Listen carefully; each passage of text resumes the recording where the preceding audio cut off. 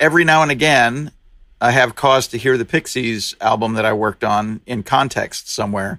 Like I'm in a bar and a song will come on, or I'm watching a movie and a song will come on.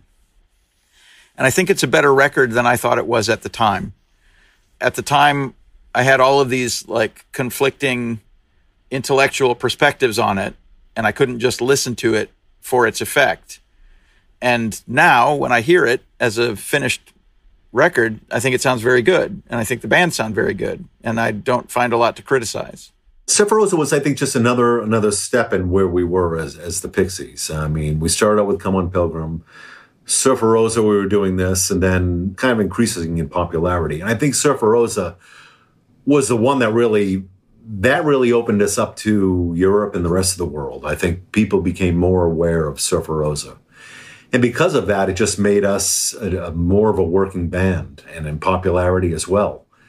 And it just afforded us the opportunity to do Doolittle and Bossa Nova and Trompe le Monde and then keep going on. It's a joy to play it because all those early records are like riding a bike. They're kind of in there. It's unlike a new song. And new songs I know and you can play them and stuff like that, but those old ones like riding a bike, it's almost like second nature. You can just you can just go on autopilot, and not think about a thing, which is nice. And that's what Surfer Rosa can do. I think more so than Doolittle or even Trompe le Monde or even Bossa Nova or any album later. They're just they're more built into us. We got lucky. We got lucky because we worked hard being lucky. You know. I guess now that we were talking about it, about Surfer Rosa, it really started us that was it.